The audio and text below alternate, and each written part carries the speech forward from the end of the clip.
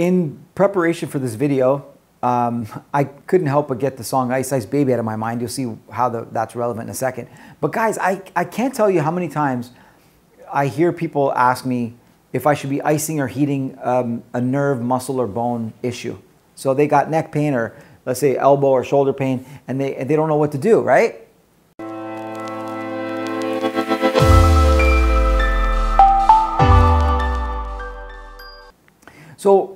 Here's the deal. In many parts of the world, heat is the go-to on um, injuries. And for other parts of the world, ice is the, the go-to choice, okay, for, for injuries. But the truth is they're both important. And sometimes one is more important the other than the other. But the only way to know, besides the obvious one, okay? So if you got a big swollen um, injury, you don't want to heat it, you go to ice. Okay? But if your shoulder's sore, your neck is sore, your back is sore, but you can't see any obvious swelling or any obvious redness, all right? The question is which one's more important? Well, here's the deal. When you ice, you reduce inflammation, but you increase muscle tension and stiffness. When you heat, you reduce muscle stiffness or stiffness in general and tension, but you increase inflammation. So here's what you do Let's say your shoulder's hurting you, you would take an ice pack or a heating pad, whichever you prefer to start with, okay? Let's say you prefer heat. So you go 50 minutes of heat, and then you go 50 minutes of ice. Repeat 15 minutes of heat, 15 minutes of ice, and a third time, back to back to back if possible. Of course, if you have a little break between the pair, fair enough, okay?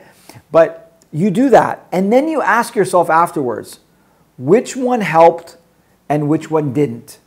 If one clearly helped you, so let's say the ice clearly helped you, but the heat made it worse, then you, I would stick to the ice, 15 minutes of ice, 50 minutes of rest on the second time. So you take, so you did the first trio to learn, and then maybe before you go to bed, you, you just stick to the one that helped you. So 15 ice, 15 rest, 15 ice, 15 rest, and a third time.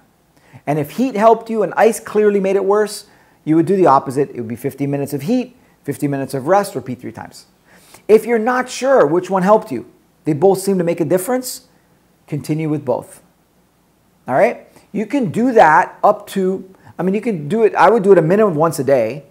All right? But you can do that up to three, four times a day. In fact, I have patients that when they see results with one or both, they do it like, let's say, once as soon as they get up, once before bed, and maybe two to three times in between. You can't overdo it. Okay? Just make sure that you're not putting it directly over the skin, the ice and heat. Okay? Um, make sure there's you're using either a towel, a paper towel, a Kleenex, or it's over your clothes. Okay, so you don't you don't get any any type of burns. Um, and that's it. Just just continue to to pay attention to which one's helping you. And anytime you have an injury, before you get to a healthcare professional, I would go to the ice and heat.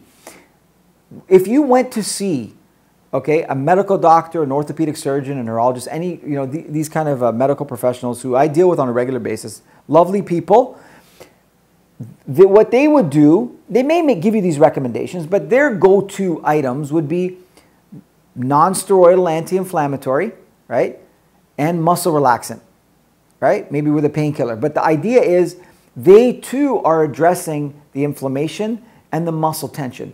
And for us as chiropractors, most spinal problems, most joint problems have at least these three components a nerve component, which is why you're experiencing the pain, an inflammatory component, which ice or anti inflammatories will help with, and a muscle component, which muscle relaxers and of course heat will help with. Okay, guys? Now, in, I think I'll do a video on the different, the different choices to make as to whether you should take meds or not and whether you should use ice or heat. Um, but I hope this, this helps you a lot. Ice and heat are both very important. There's no one right answer, okay? Um, so you got to just figure it out for yourself. And not only does it vary from person to person, guys, it varies from episode to episode and from body part to body part. You can actually respond really well to, uh, let's say, a neck complaint that just happened recently with ice, but the low back complaint that is also happening may respond better to heat. Only way to know 15 ice, 15 heat. Repeat three times.